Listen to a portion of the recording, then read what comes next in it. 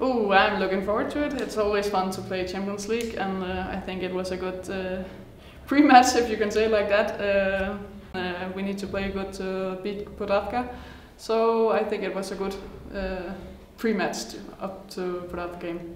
Yeah, it, you know, when some people get injury, and we just need to move together as a team, and I really think we did that today. and uh, it just gives the whole team a really good confidence and believe that uh, we can win the game even if we're in trouble and even if we're missing some important persons. So I think it was a really good step for us as a team.